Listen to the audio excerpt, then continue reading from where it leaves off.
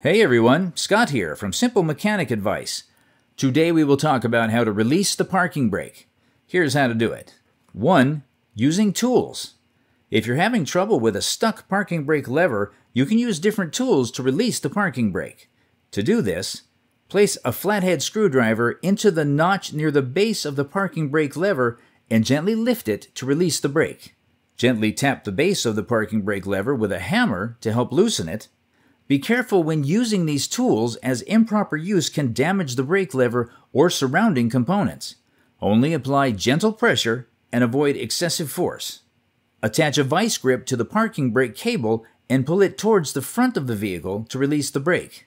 When using a vice grip on the cable, be gentle to avoid damaging the cable, which could lead to more costly repairs. 2. Releasing a GM electronic parking brake. For vehicles equipped with a GM electronic parking brake, you can manually release it by following these steps. 1.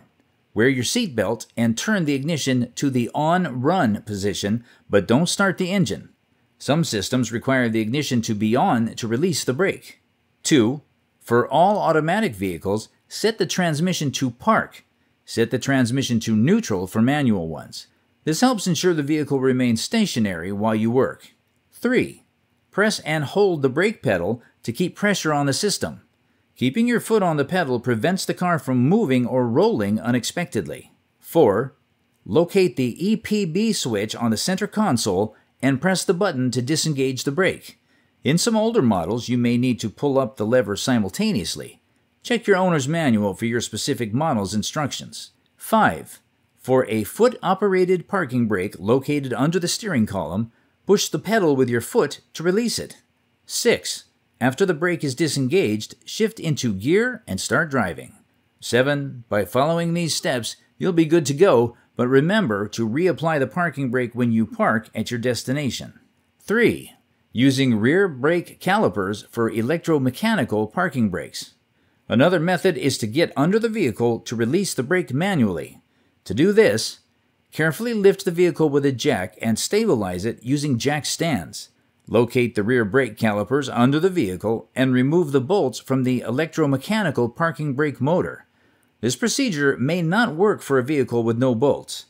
This method is only applicable for certain vehicles with electromechanical parking brakes that have accessible bolts. If you're unsure, consult your owner's manual or a professional mechanic. Attempting this without proper knowledge could lead to significant damage to the brake system.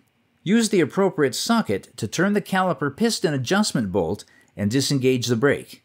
Incorrectly adjusting the caliper piston can damage the brake mechanism. If you're unfamiliar with this process, it is recommended to seek professional help.